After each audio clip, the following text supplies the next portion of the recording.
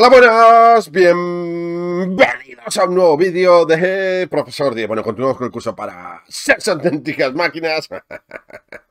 Ahí tienes la lista de reproducción de polinomios. Bueno, vamos a hacer este ejercicio que se había comentado en el super resumen de polinomios desde cero de varios ejercicios, nunca mejor dicho, de examen resuelto de sacar factor común en polinomios. ¿Por qué? Porque son ejercicios clásicos, clásicos, clásicos de examen, así que si tienes pronto el examen, yo este vídeo no me lo perdería.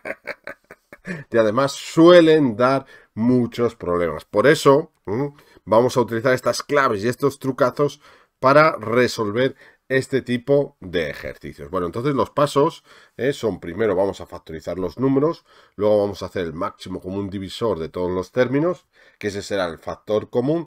Sergio, ¿cuál es el máximo común divisor o cómo se calculaba? Pues son los comunes elevados al menor exponente. Bueno, lo mejor, como siempre, eh, es verlo como lo hacemos. Menos 2x a la cuarta, más 4x al cubo, menos 6x. Bueno, también es importante saber que tenemos que ir afinando nuestro ojo matemático, que todo lo ve, y a veces sacar ese factor común a ojo. Este es el método general que nos vale para todos. Es importante hacerlo de las dos maneras. ¿Por qué? Hombre, porque si tenemos el ojo afinado, mucho mejor, pero puede ocurrir eh, que tengamos un mal día o que nos hayamos levantado con legañas en el ojo matemático. que todo lo ve y no lo veamos bien, entonces tenemos que recurrir al método general. Bien, entonces nosotros decimos factorizamos los números. Entonces yo los números, tengo el 2, pues factorizado es 2. Ahí no me voy a pelear con nadie. El 4, pues es 2 entre 2 y entre 2 a 1 es 2 al cuadrado. Bien, y el 6, ¿sí? si lo factorizamos entre 2 es a 3 y entre 3 es a 1. Pues los marcamos factorizados. Sería menos 2 x a la cuarta, ¿sí? más 2 al cuadrado x al cubo menos 2 por 3x. Vale, esa es la factorización. Entonces a nosotros tenemos que calcular el máximo común divisor, máximo común divisor, ¿sí? De esos tres términos, de 2x a la cuarta. Fijaros, no metemos nunca signos. Muy importante. 2 al cuadrado por x al cubo, ¿sí? Y luego 2 por 3 por x, 2 por 3 por x. Y el máximo común divisor son los comunes elevados al menor exponente. Entonces, ¿el 2 es común? Sí, porque están los 3. ¿Cuál está elevado al menor exponente? Daros estos 2 elevado a 1, 2 al cuadrado y 2 elevado a 1. Pues 2 elevado a 1, que es 2. Bien. Luego tenemos el 3. ¿El 3 es común? No solo está en este, luego no es común, luego el 3 no me va ahí. Bien, y luego la x es común, sí, están los 3, luego tengo que coger la x que está elevada al menor exponente, luego 2 por x igual a 2x, y ese sería el factor común, 2x. Y ahora abrimos paréntesis y tenemos que poner tres términos ahí. El primero negativo, porque este es negativo. Bien, aquí viene lo que yo digo que tenemos que afinar el ojo. Fijaros, yo he sacado un 2, y he sacado una x, ¿vale? Entonces el 2 se me va y como he sacado una x y tenía x a la cuarta, me quedará x al cubo, quedará x al cubo. ¿Que lo veo? Genial. ¿Que no? Pues recurrimos al método general que es menos 2x a la cuarta, dividirlo entre el máximo común divisor. ¿eh? El nombre nos da pista. Tenemos que dividir 2x y entonces sería 2 entre 2 es a 1, menos 1, y x a la cuarta entre x, x al cubo, menos x al cubo. Ok, Mackey. El siguiente, fijaros, 2x, yo he sacado 2x, tenía un 4, me va a quedar un 2, ¿sí? Y tenía x al cubo y he sacado una x, pues me va a quedar x al cuadrado, pues será más 2x al cuadrado. ¿Que no lo veo? Pues recurro al método general, 4x al cubo, ¿sí? 4x al cubo, partido 2x. 4 entre 2 es 2, x al cuadrado. Ok, Mackey. Bien, el siguiente sería, yo he sacado 2x para afuera, la x ya me ha salido toda y como 6 es 2 por 3 me queda un 3. Pues sería menos 3. Ya ahí lo tenemos. ¿Que no lo veo? Pues exactamente igual. Sería menos 6x partido entre 2x y entonces sería menos 3. Y ahí tenemos el menos 3 que decíamos. Bien, eso es el método general. Luego podemos hacer una pequeña comprobación. Yo no la recomiendo muy a menudo, pero yo os enseño todo. Bien, ¿qué hacemos? Si operamos, tendremos que volver al polinomio original. Pues vamos a verlo, 2x por menos x al cubo será menos 2x a la cuarta, ¿sí?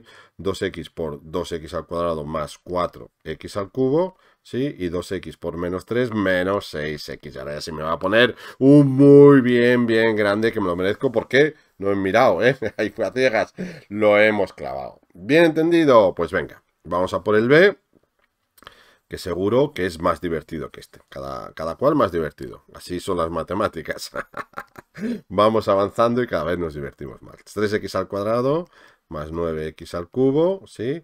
Más 6x a la cuarta. Bien, eh, bueno, podemos factorizar el máximo común divisor de 3x al cuadrado, ¿sí? 9x al cubo, 9 es 3 al cuadrado, 3 al cuadrado de x al cubo, ¿sí? Y 6 es 2 por 3, 2 por 3, x a la cuarta. Bueno, pues son los comunes elevados al menor exponente. ¿El 2 es común? No, porque no están los 3 o no están 1, entonces nada. ¿El 3 es común? Sí. Entonces tenemos que sacar un 3 elevado al menor exponente, que sería 3 elevado a 1, que es 3. ¿La x es común? Sí, porque están todos. Y tenemos que coger la que esté elevado al menor exponente, que es x al cuadrado. 3x al cuadrado. Este es importantísimo. ¿Vale? Este ejercicio es súper, súper importante. Vamos a ponerlo ahí. Importante. Todo el mundo en el cuaderno que a fuego, con fosforito, subraye esto. Porque va a ocurrir una cosa que siempre, siempre, siempre cae en los exámenes. Es la típica trampa que ponemos los profesores en los exámenes, ¿eh? pero no te preocupes que tú después de ver este vídeo no vas a caer, ¿eh? porque va a atacar ahí Sergio Chapas. Bien, tenemos esto de aquí. Entonces ya sabemos que tenemos que sacar factor común 3x al cuadrado. Bien, el rojo no, en moradete. 3x al cuadrado. Fijaos en los siguientes. Yo aquí tengo tres términos. Luego dentro del paréntesis tengo que tener tres términos también. ¿vale? Tres términos sí o sí. Bien, entonces fijaros, yo el primer término he sacado todo, he sacado 3x al cuadrado, entonces el error común es no poner nada. ¡No! He sacado 3x al cuadrado, pero yo ahí tengo que poner algo que multiplica al 3x al cuadrado. Y solo hay un número, que si yo lo multiplico por 3x al cuadrado, esto no cambia, que es el 1. Mi ojo matemático, que todo lo ve, ve ese 1 ahí. Entonces aquí hay que poner un 1. ¿Vale? Ya sé que es difícil de ver. Si no, podemos recurrir al método general, que es dividir este entre el máximo común divisor. Y algo entre sí mismo es 1. Y veis que... ¿eh? Esto está ok, McCain. Más. Bien, ponemos siempre ahí. Entonces sería 9x al cubo. Fijaros, 9 es 3 por 3. Ha salido un 3. Me queda otro 3. ¿Sí? y ha salido eh, de x al cubo, han salido 2, pues me queda una x. ¿Vale? ¿Que no lo vemos? Pues 9x al cubo partido entre 3x al cuadrado. 9 entre 3 es a 3 y x al cubo entre x al cuadrado, x. Venga, genial. Aquí 2 por 3 por x a la cuarta. Ha salido un 3, entonces me quedará un 2 y ha salido x al cuadrado. Entonces me quedará otro x al cuadrado aquí. ¿Vale? Que no lo veo, no pasa nada, que para eso tenemos el método general. X, x a la cuarta, ese término, lo dividimos entre el máximo común divisor, que es 3x al cuadrado. 3x al cuadrado, 6 entre 3 es a 2, x al cuadrado, y ya lo tenemos. Bien, ¿podríamos comprobarlo y multiplicar todo? Sí, pero no lo vamos a hacer. Porque la comprobación no nos la piden. Si quieres, hazlo tú y me dices, oye Sergio, ¿lo has clavado? que he hecho la comprobación y está bien. Venga, vamos a hacer el C. Uy, el C, uy, el C. Qué pinta de interesante tiene. Vamos a volver al azul para que sea todo más visual y a ver si lo copio bien. Sería 5x y al cuadrado, lo que me va a divertir haciendo este. más 3x al cubo y menos 7x al cubo y al cubo. Fijaros, vamos a hacer el máximo común divisor de estos términos. 5x y al cuadrado. Aquí tenemos la ventaja que no tenemos que factorizar los números, ¿eh? porque los números ya, ya son, están factorizados, son números primos. 3x al cubo y, y 7x al cubo y al cubo. Vale, entonces, números no hay. X sí, porque está ahí en común en los tres y cogemos la menor grado, que es la X. La Y también, lo veis, ¿no? Porque están en común en los tres y cogemos la menor grado, que sería Y. Pues ya lo tenemos. Ahora tenemos que sacar factor común x por y. x por y. Voy a borrar esto de aquí. Vale, bien. esto es x por y, no x por 5. x por y. Ya abrimos paréntesis. Bien. El primer término. Yo he sacado el 5 y no lo he tocado. Pues queda ahí. ¿Vale? He sacado una X, no me queda ninguna. Y he sacado una Y, luego me queda ahí. ¿Que no lo veo? Pues hacemos primer término dividido entre el máximo común divisor. ¿Vale? 5, X entre X se me van, 5Y. Ok, Mackey. Venga, el siguiente. Fijaros, el 3 no lo toca. Ahí queda. Sale una X. Había una X al cubo, pues me queda X al cuadrado. Sale una Y. Había una Y, pues no me queda nada. ¿Que no lo veo? Pues método general, 3x al cubo por y partido el máximo común divisor, que por algo se llama divisor, recordad. Pues 3x al cuadrado, ahí lo tenemos. El siguiente, pongo el menos aquí, el 7, no he tocado los números, así que nada, x al cubo, ha salido una x, pues me queda x al cuadrado, y al cubo, ha salido una y, pues me queda y al cuadrado. ¿Que no lo veo? Pues vamos al método general, 7, x al cubo y al cubo, ¿sí? Voy a poner el signo menos ahí, eh, partido x, sería menos 7 x al cubo entre x, x al cuadrado, y al cubo entre y, y al cuadrado. Y ok, ma que, porque tanto el ojo matemático, que todo ve, que hoy lo tengo bien afinado, como el procedimiento general, me da el mismo resultado. Pues lo mismo que antes, también podríamos hacer la comprobación, multiplicamos esto por esto, esto por esto, esto por esto, hacérmelo en casa, y me decís, oye Sergio, lo has clavado. porque lo he clavado. Pues venga, ya sé que falta el de, uy, qué buena pinta tiene este. Pues venga, ¡Vamos a por ello! Pues venga, vamos a por el apartado D, pero no lo voy a hacer yo. Sabéis que me gusta mucho. ¡Examen sorpresa! Poneros a prueba. ¿eh? Yo creo que ya estáis preparados. Veo ahí auténticas máquinas. Entonces quiero que hagáis el apartado D, ¿vale? Y luego lo corregimos.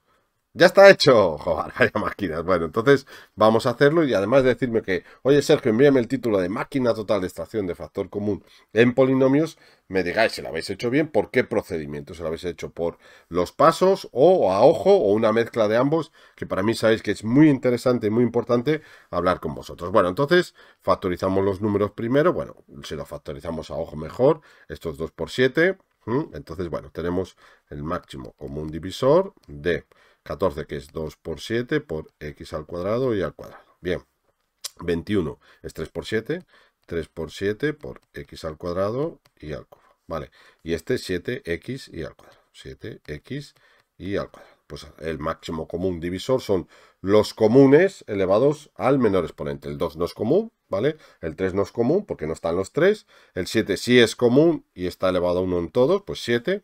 El x al cuadrado, el x sí es común, el que está elevado al menor exponente es la x, ¿vale? Y el y es común y el que está elevado al menor exponente es cuadrado. Pues ya tenemos el factor que podemos extraer en común de todos este polinomio. Venga, venga, entonces lo tenemos ahí, ya abrimos paréntesis. Y ahora vemos si nuestro ojo matemático que todo ve ¿Me dice o no me dice? Entonces 14, 7 por 2, ha salido un 7, pues me queda un 2. La x al cuadrado exactamente. Eh, he sacado una x y tenía x al cuadrado, me queda una x, ¿vale? Y la y al cuadrado, he sacado una y al cuadrado, entonces ya no me queda nada. ¿Que lo veo? Genial. ¿Que no? Pues recurro al método general, que es dividir ese término entre el máximo común divisor. 14 entre 7 es a 2, x al cuadrado entre x, eh, x es x y al cuadrado entre y al cuadrado no es nada. Pues 2x. Ok, ok. El menos, exactamente igual. 21 es 3 por 7, sacado el 7 me queda el 3. De x al cuadrado sacado la x, pues me va a quedar una x, ¿vale? Y de y al cubo sacado y al cuadrado me va a quedar una y. ¿Que lo veo? Genial, ¿que no? Pues el método general, 21 x al cuadrado y al cubo partido 7x y al cuadrado. 21 entre 3, digo 21 entre 7 es a 3, x al cuadrado entre x es a x y al cubo entre y al cuadrado es y. Menos 3, x y. Vea, genial. Bueno, si pongo el signo ahí, ahí, ahí ya depende de los gustos de cada uno. Más. Bien. Y aquí fijaros, muy interesante también. Muy, muy, muy, muy interesante. Estos cuatro ejercicios los he sacado de diferentes exámenes que me habéis enviado y ya veo que los profesores siempre ponemos las mismas trampas. Interesante, ¿vale?